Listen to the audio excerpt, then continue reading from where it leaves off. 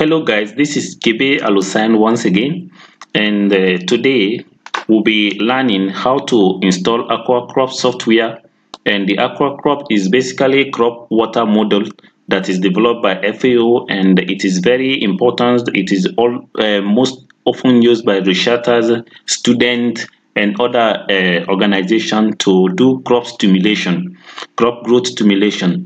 And with that, it is very important for you to know where you can download the software for free and uh, how to install the software in your computer. Let's go.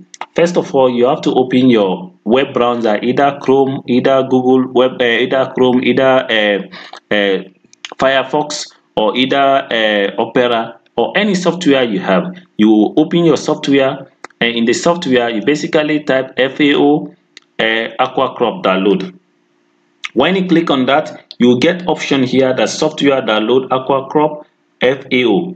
And you click on this one, Aquacrops FAO. Now you enter your information here. You can see here I have entered my email address because I have uh, already previously logged into this uh, website. I have downloaded the Aquacrop. I am just uh, downloading it again for the benefit of this video. I said hello sign, hello sign KB KB organization is basically my university UAR and uh, after that you select countries. And with that I can select the, my country of resident and uh, I select that one. Let go. You can select any country based on the country you are. Now I select my countries and I save it.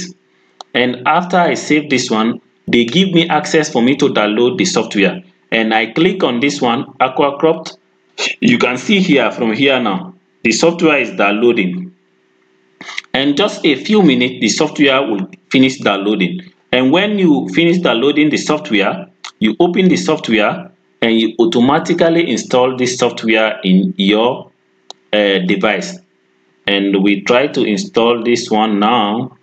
We see aquacrop you, you install from this one aquacrop exe extension uh, file area. You click on this one very simple and you download the aquacrop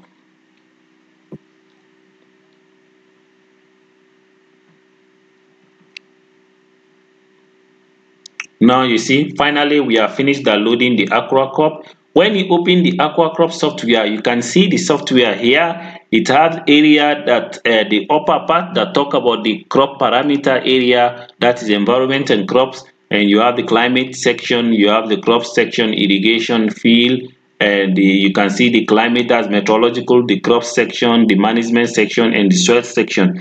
And in stimulation area you have the stimulation periods initial condition you say project and field data and you can run your crop data. And that is it for all thank you for watching and if you have any question put it in the comment sections and i will try my best to respond. Thank you all